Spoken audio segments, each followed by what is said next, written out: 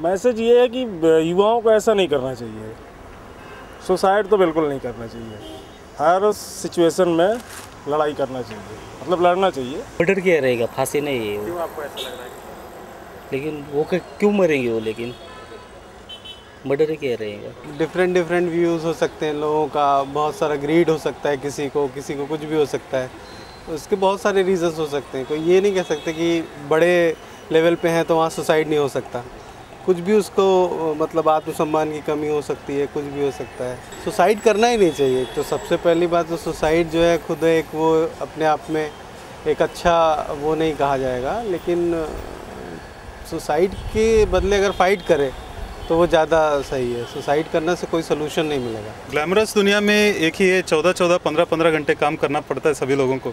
तो वो थोड़ा कम करना चाहिए लाइफ पे थोड़ा ज़्यादा ध्यान देना चाहिए। ज़्यादा तो पहली बात है कि चांस नहीं मिलता है। है ना, लोग आके ये सब टेंशन में ही करते हैं।